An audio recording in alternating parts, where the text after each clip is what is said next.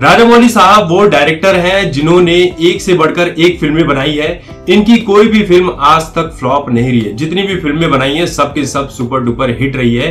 अब triple R तो सीधे ऑस्कर की रेस में पहुँच चुकी है और इंडिया से बाहर भी कई सारे अवार्ड्स जीत कर ला रही है।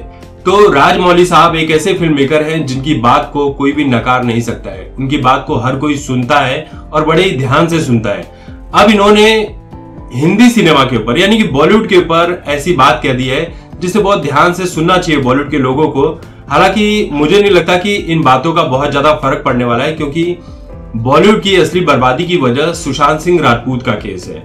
उसके बाद हिंदुत्व वाला मुद्दा आता है, जो प्रोपोगेंडा ये लोग रचते हैं अपनी फ़िल्मों में, वो सारी चीज़ें आती है। लेकिन असली वजह हमेशा सुशांत सिंह राजपूत का ही केस रहा है।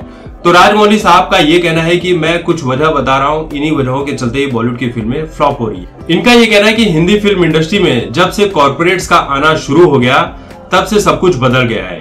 एक्टर, डायरेक्टर्स, ये लोग ज़्यादा पैसे चार्ज करने लगे और इनके अंदर पैसों को लेकर एक भूख जाग चुकी है।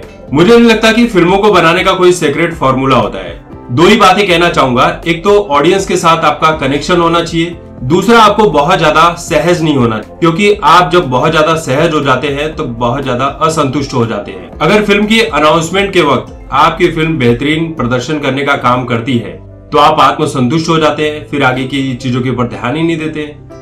तो देखिए राजमौली का जो कहना है, वो तो बिल्कुल सही है, लेकिन इस साल बॉलीवुड में फ़िल्में चली कितनी है? Bhool Bhulaiyaa two, the Kashmir files और दृश्यम टू। यही तीन फ़िल्में चली हैं, बाकी ब्रह्मास्त्र और गंगूबाई काठियावाड़ी को लेकर अभी भी विवाद बना हुआ है कि इसने कमाई कितनी की है। तो इनके ऊपर जाना नहीं चाहूँगा, और जुग जुग जियो तो बिल्कुल ही बकवास फ़िल्म थी, उसे ना जाने कहा से सौ करोड़ रुपए की कमाई करके बताया गया उसे।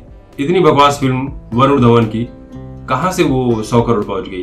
तो इस साल बॉलीवुड की कोई भी फ़िल्म चली नहीं है ढंग से, यही फ़िल्में चली है।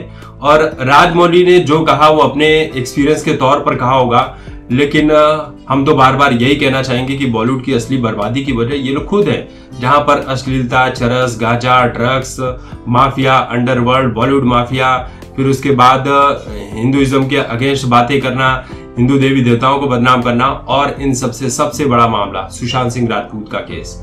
जब तक ये सुलझेगा नहीं, तब तक बॉलीवुड का कुछ भी भला होने से रहा।